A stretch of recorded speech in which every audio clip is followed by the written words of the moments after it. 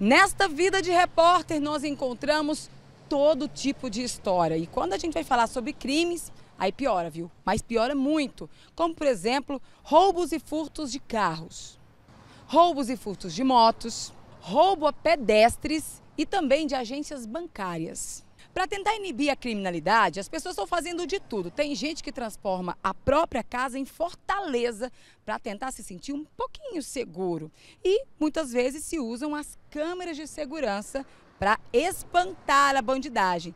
Mas de um tempo para cá parece que está atraindo o crime, como aconteceu aqui nesta casa e inclusive num setor muito movimentado aqui na capital, quando os bandidos levaram a câmera que estava aqui neste lugar. Uma câmera, inclusive, que estava assim, ó. Dá uma olhada. Esta câmera aí foi furtada. Ela estava praticamente dentro de uma jaula, bem segura. Mas eles arrebentaram tudo e furtaram. Agora tem uma outra no lugar com outro tipo de proteção. Até quando?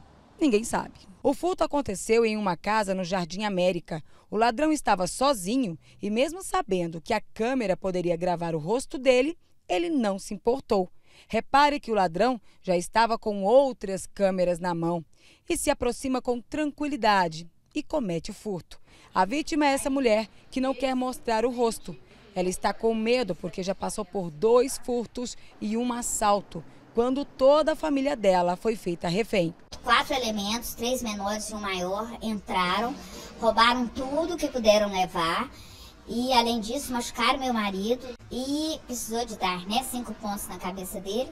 E, além de tudo, no meu filho, eles deram outra coronhada que precisou de dez pontos na cabeça dele. Nós viemos na parte de dentro para mostrar um pouco do que esta vítima e toda a família dela fez para que eles tivessem um pouco mais de segurança. Olha só, ali uma cerca elétrica com sete fios, o normal seria três fios. E aqui ao lado, uma grade de proteção, gente. Quem olha do lado de fora acha que tem um campo de futebol aqui, mas não é não, viu, gente? É para inibir mesmo a prática do crime, para que os bandidos entrem aqui. Como ela disse, são 16 câmeras em toda a casa. Só nessa parte aqui que entra a garagem, são duas câmeras de monitoramento. Câmera é a segunda que eles roubam.